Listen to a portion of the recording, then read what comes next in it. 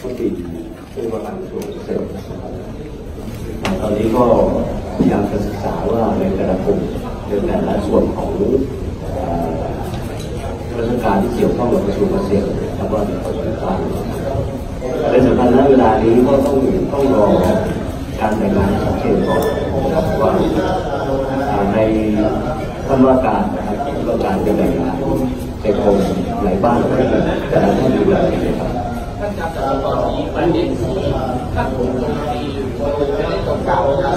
ท่านจะได้ชี้แจงครับในบ้างครับข้อเท็จจริงในเรื่องของอดีตที่ผ่านมานะครับ ไม่ว่าจะเป็นอดีตในเรื่องของต่างประเทศ หรือในเรื่องที่เกิดขึ้นในประเทศไทยนะครับ เมื่อช่วงบ่ายผมได้ชี้แจงไปกับเอ่อสื่อนะครับไปบ้างแล้วนะครับ โดยเฉพาะยิ่งในประเด็นในเรื่องของ เรื่องประเทศออสเตรเลียนะครับมันเป็นเรื่องคนละข้อสิ่งสำคัญที่อยากจะกลับเรียนพี่น้องสื่อมวลชนว่าผมไม่ได้เป็นผู้ที่นะครับอินพอร์ตเฮโรอีนเข้าไปประเทศออสเตรเลียนี่ประเด็นแรกครับ ประเด็นที่สองผมไม่ได้เป็นผู้ผลิตนะครับ ประเด็นที่สามผมไม่ได้เป็นผู้จำหน่ายนะครับดังนั้นประเด็นหนึ่งสองสามนี่ตัดทิ้งไปเลยครับ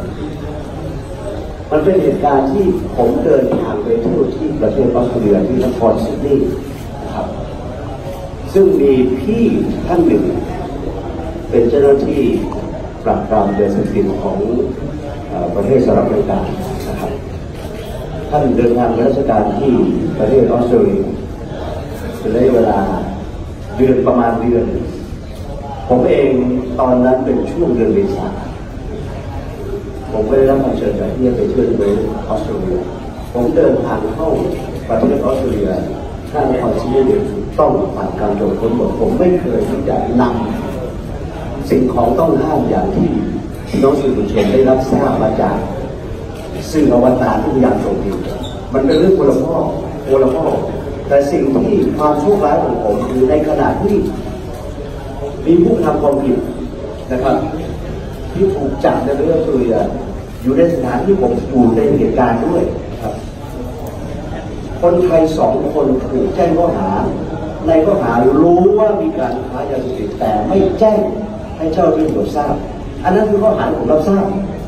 ไม่ใช่เจ้าหน้าไม่ใช่ข้อหาค้ายาเสพติดผลิตยาเสพติดหรือนำเข้ายาเสพติดสู้คดีมานะครับ ผมเป็นคนไทยคนเดียวที่ปฏิเสธ ทุกข้อกล่าวหามาตลอนะครับจนกระทั่ง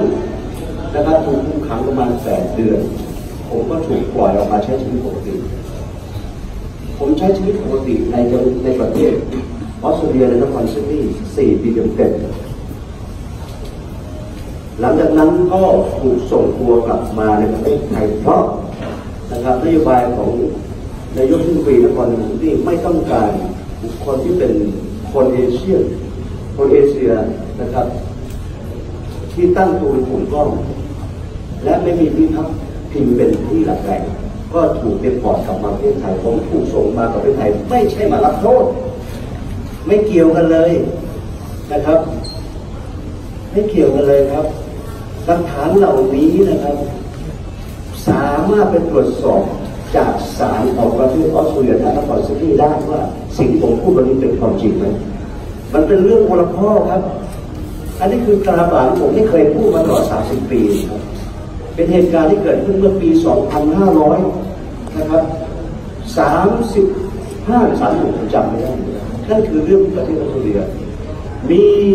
บางท่านโดยเฉพาะสื่ออวตารโจมตีว่าผมต้องกลับมารับโทษประเทศไทยเป็นคนละเรื่องกันครับ นะครับ ประเด็นนี้มีเท่านี้ครับในเรื่องออสเตรเลียครับ